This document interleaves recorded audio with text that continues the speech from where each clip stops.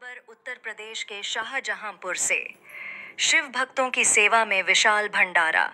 आपको बताते चलें बर्मा टेंट हाउस द्यूरिया के पास, मोहम्मदी रोड, बिजली विभाग के कर्मचारियों द्वारा शिव भक्तों के भंडारे का आयोजन किया गया, जिसमें समस्त बिजली विभाग के अधिकारी कर्मचारी अंकित, जितिन यादव, नीरज, प्रेम, मदन सिंह झब्बू लाल शिवम अनमोल आदि लोगों द्वारा शिव भक्त गणों को सम्मान पूर्वक भंडारे का प्रसाद ग्रहण कराया गया। स्टार सेवन लाइव से मुकेश सक्सेना के साथ आर एस शर्मा की रिपोर्ट।